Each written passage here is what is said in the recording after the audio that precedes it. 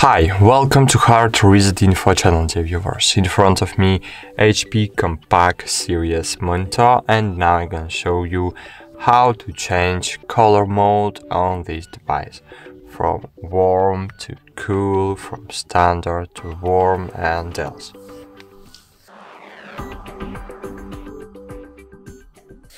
So firstly, open my menu using this button. Scroll down using minus button and switch to color, click OK. And here you will see warm, standard, cool or custom. Using minus and plus buttons you can change the screen, uh, screen preset. For example, I want to use warm preset. Uh, and of course you can use you can use custom preset to use it uh, open this mode and here you can uh, for example cut the blue color. So uh, let's look to blue colors on my screen and now I will cut it.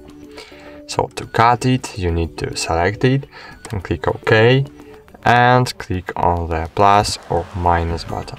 And as you can see all my blue lights was removed from the my screen.